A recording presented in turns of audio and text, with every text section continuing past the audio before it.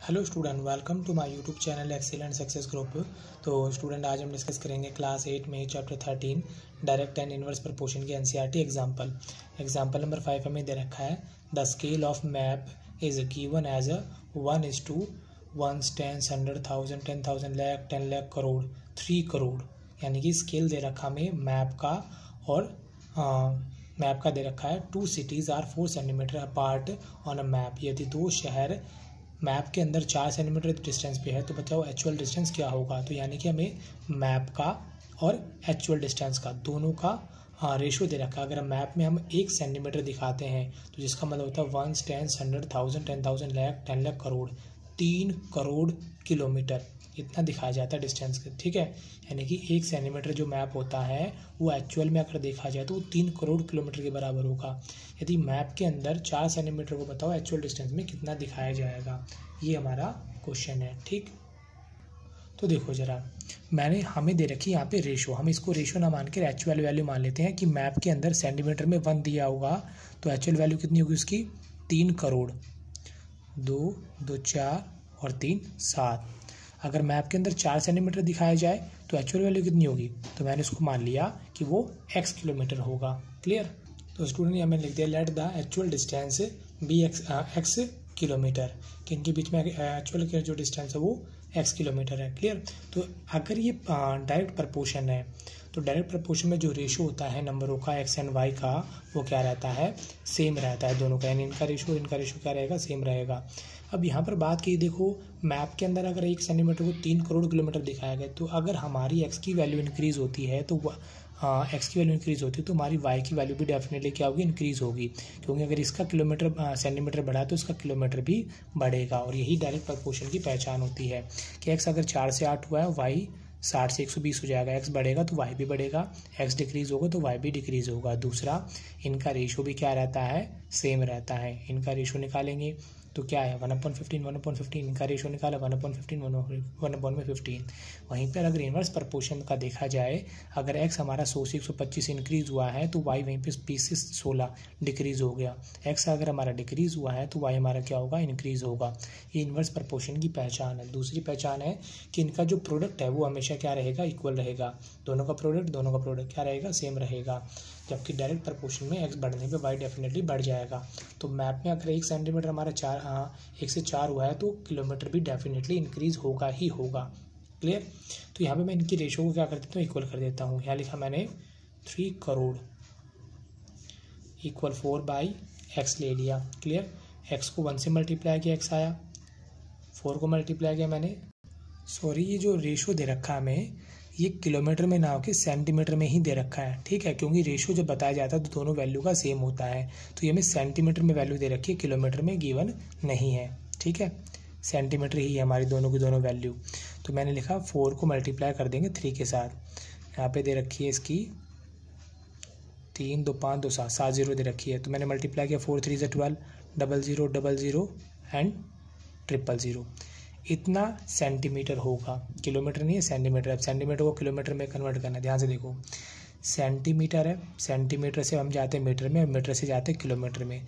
जब हमें सेंटीमीटर से मीटर में जाना हो तो डिवाइड करते हैं हंड्रेड का, ताकि मीटर में आ जाए। और मीटर से अगर हमें किलोमीटर में जाना हो तो डिवाइड देते हैं थाउज़ेंड का। क्लियर ताकि हम किसमें आ जाए? किलोमीटर में आ जाए। तो हमें सेंटीमीटर दे रखा है। सेंटीमीटर से सीधा किलोमीटर में जाना तो दो ज़ीरो ये होगी, एक ज़ीरो ये होगी। तो हमारा एक सेंटीमीटर बराबर होगा तीन और दो, पाँच, दो और तीन, पाँच। एक सेंटीमीटर बराबर होगा वन अपॉन में वन लैख किलोमीटर के। क्लियर? तो हम क्या करेंगे? दो दो, चार और तीन, सात। इसमें डिवाइड दे देंगे वन लैख का। तीन, दो, पाँच, तीन, दो, पाँच। अब हमारा आंसर किसमें आ जाएगा? किलोमीटर में, यानी कि बारह सौ किलोमीटर हो जाएगा डिस्टेंस दो सिटीज़ का। अगर मैप में चार सेंटीमीटर शो किया जाता है तो एक्चुअल वैल्यू इसकी क्या होगी? 1200 किलोमीटर होगी। हमें जो रेशो दे रखा था, ये सेंटीमीटर में था किलोमीटर में नहीं था। क्लियर और यहाँ पर आप इस बात का ध्यान रखना कि सेंटीमीटर से मीटर में आए तो डिवाइड बाय हंड्रेड किया। देखो ये हंड्रेड आया मीटर से किलोमीटर में गए तो डिवाइड बाय थाउज़ेंड किया। थाउज़ेंड की तीन ज़ीरो आ गई। तो मैंने डायरेक्टली सेंटीमीटर को मीटर में किलोमीटर में कन्वर्ट करने के लिए दो ज़ीरो ये तीन ज़ीरो ये पाँच ज़ीरो से डिवाइड कर दे तो मेरा आंसर किसमें आ जाएगा? किलोमीटर में। इसी के साथ हमारा एग्ज़ाम्पल नंबर फाइव यहाँ पे कंप्लीट होता है। अब हम डिस्कस करेंगे एग्ज़ाम्पल नंबर सेवन बोला गया छः pipe are require six pipes are require to fill a tank छः पाइप लगते हैं किसी टैंक को फिल करने में तो उनको टाइम लगता है एक घंटा बीस मिनट लगते हैं। तो बोला गया आगे में how long will it take it five pipe the same type of are use यदि टैंक वही है, अब पाँच पाइप को लगाया जाए तो बताओ कितना समय लगेगा? पहले छः पाइप लगते थे, अब देखो, एक घंटा बराबर होता है साठ मिनट के। यहाँ पर मैं जो मैंने टेबल पहले से बना रखी है, इसके अंदर मैंने नंबर ऑफ़ पाइप लिया टाइम लिया टाइम किसमें लिया मिनट के अंदर। एक घंटा साठ मिनट के बराबर होता है।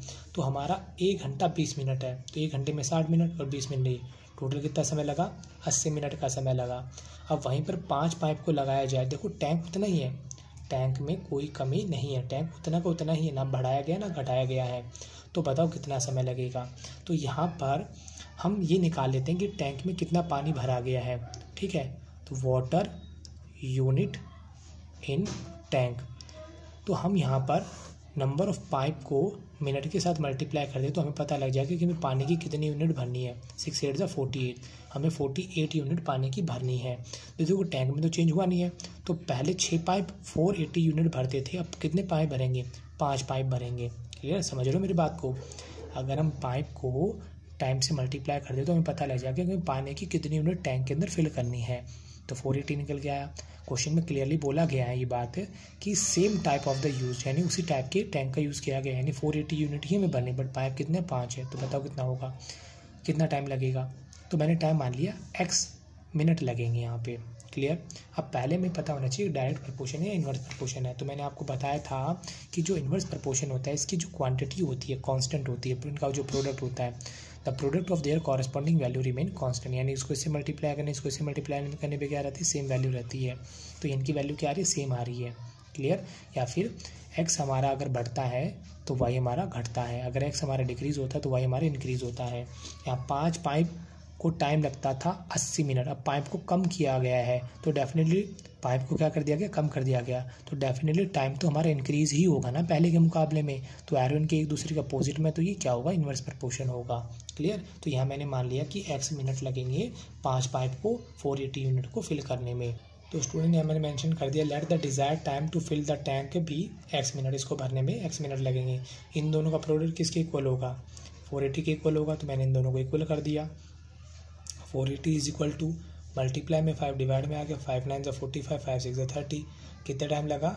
नाइन्टी सिक्स मिनट लगे। अब इसको आवर में कन्वर्ट करना है तो हमें मालूम है वन मिनट बराबर होता है वन अपॉन में सिक्सटी आवर के।